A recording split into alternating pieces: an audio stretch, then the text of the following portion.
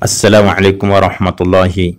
Tukio kama tukio ni ya Bwana Mtume alipokuwa akitoka vita vya Tabuk. Habari maelezo yameshajulikana kwa wengi katika mashekhe, waalimu na Waislamu ambao ni wenye kupitia pitia vitabu vya sira na tawarikh, wanajua waziwazi Bwana Mtume alipokuwa akirudi. Mtu unaweza kurudilia nini kitabu eh, as-sahihu min ahadithi sirati an-nabawiyya katika ukurasa kuanzia mia tano na ishirini na tatu hadi mia tano na ishirini na tano utapata maelezo haya ya ku, kueleza kilichotokea. Bwana Mtume alichukua njia ya Akaba na kuacha masahaba wake wote kwenda njia nyingine, lakini Bwana Mtume kamchukua Hudhaifa na Ammar. Ilipokuwa kuwa ka usiku usiku, kunakuwa kale kagizagiza kale, wakajitokeza watu idadi wanaeleza kumi na mbili wengine kumi na tatu wengine kumi na nne idadi na kwenda. Almuhimu, tatizo yangu haipo katika idadi ya wale watu ambao walikuwa wamevaa manikabu wamejifinika finika wasijulikane usoni. Wale watu walikuwa ni wanafiki, na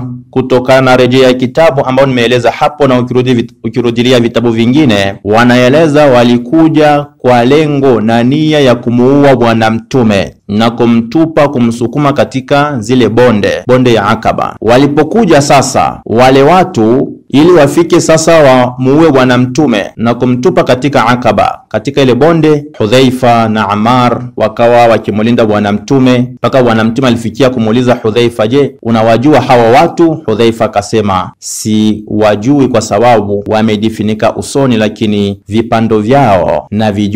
Yani Hudhaifa vile vipando vile kama zile farasi farasi alikuwa akizijua ni za fulani na fulani. Ndiyo maelezo hayo ambayo yanaambatana na maelezo nataka kuisoma sasa rasmi katika kitabu husika. Bwana Mtume baada ya hapo alimu aliwa, nini aliwaambia kina Hudhaifa na Ammar, mnajua hawa watu walikuja kufanya kitu gani kwangu? Wakasema hatujui. Bwana Mtume akawaeleza kwamba hawa watu walikuja kwa lengo ya kuniua na kunituma, kunitupa katika bonde. Bwana Mtume akatoa majina ya wale wanafiki wale, akamweleza Hudhaifa na kumwambia kwamba iwe ni siri, lakini Bwana Mtume akampa ishara, na ile ishara ni ya kusema ya kwamba Hudhaifa asiwasalie, kwa sababu Mwenyezi Mungu alimkataza Bwana Mtume kuwasalia wanafiki, na ndiyo maana Bwana Mtume akampa sasa Hudhaifa ishara ya kumwambia kwamba majina haya uyafiche, lakini akifa yeyote katika wanafiki, Hudhaifa usiwasalie.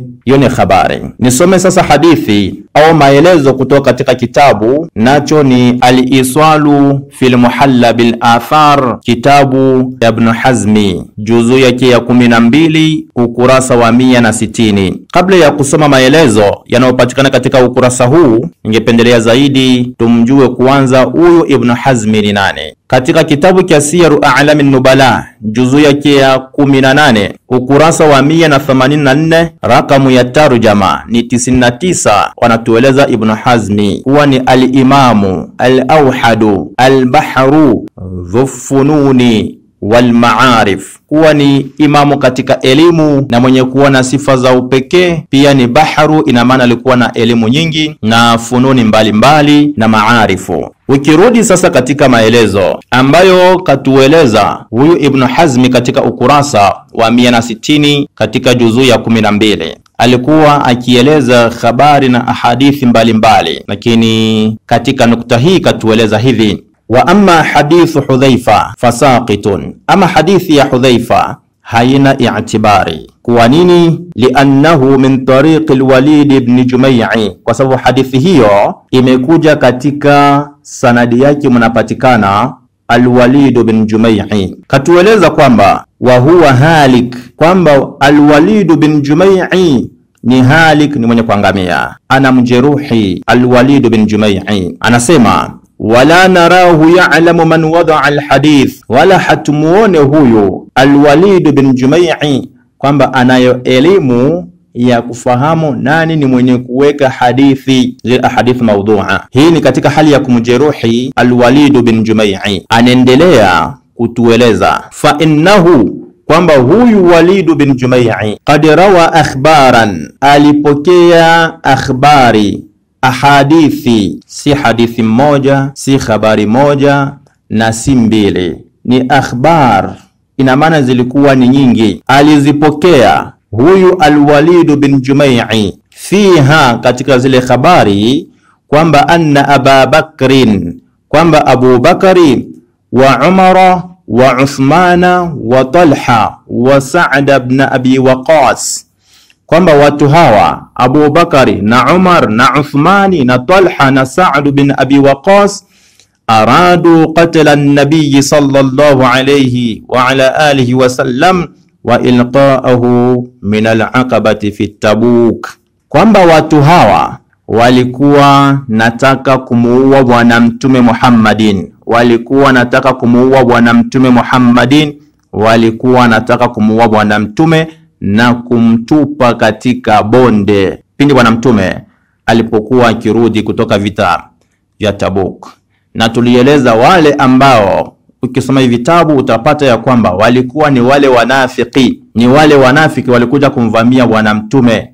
Na mwenye kitabu hiki anatueleza kwamba huyu Alwalidu bin Jumai'i alipokea zile akhbari zile zikiwa zinaeleza kwamba Abu Bakari na Umaru na Uthmani na Talha na Sa'd bin Abi Waqas walikuwa katika wale walikuwa wanataka kumuua bwana mtume na kumtupa katika Akaba. Ni maelezo huyu Ibn Hazmi anatueleza kwamba aliyepokea zile akhbari ni nani? Ni Alwalid bin Jumai'i alizopokea zile akhbari. Baada ya kutueleza haya maneno kwamba Walidu alipokea zile akhbari, Ibnu Hazmi hajatueleza ubovu wa sanadi ya zile akhbari, isipokuwa ni kumjeruhi Alwalidu bin Jumai'i alipomjeruhi ndio maana akasema chini ya maelezo, wa hadha huwa alkadhibu almawdhu, haya ni ni uongo, ni uzushi wenye kuwekwa tu, alladhi yat'anu Allahu ta'ala wadi'ahu. Haya maneno ni taalik,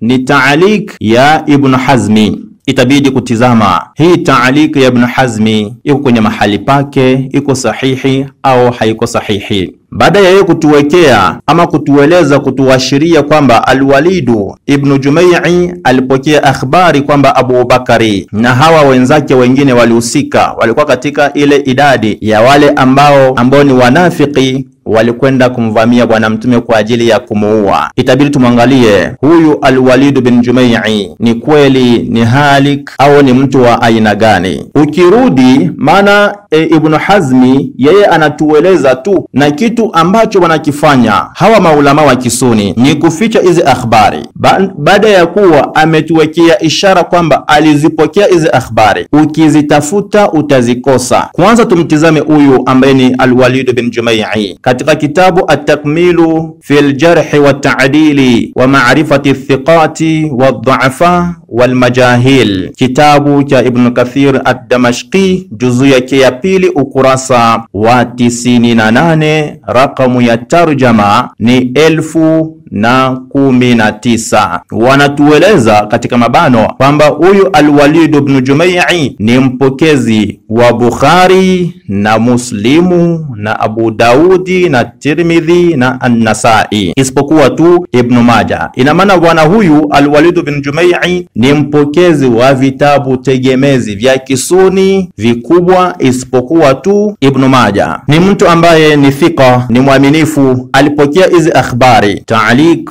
maelezo ya Ibn Hazmi haina na mahali pake kusema kwamba ni, ni, ni, ni uongo, ni maudhu, ni maelezo haina na nafasi. Atakuwa aliweka haya maneno baada ya kuona kwamba kitu cha kwanza zile akhbari wamezipotezea mbali, wamezifuta katika vitabu. Ukizitafuta huwezi kuzipata, ziko wapi? Maana leo had, yani hadi leo tuna akhbari nyingi sana, ahadithi nyingi sana kupitia elimu ya jerhu na taadil na kupitia elimu ya ilmu alhadithi, wanatueleza hizi akhbari ni dhaifa, hizi ni maudhua, hizi ni ni, ni majuhula wanatueleza, lakini hawajafanya hivyo. Wanatuwekea ishara ya kuwepo zile akhbari kwamba zilikuwepo, lakini ukizitafuta huzipati, wameshazifuta. Lakini mpokezi wa zile akhbari wanajaribu kumdhoofisha, hali ya kuwa ni mpokezi mkubwa wa vitabu tegemezi vya kiahlu sunnati wal jamaa.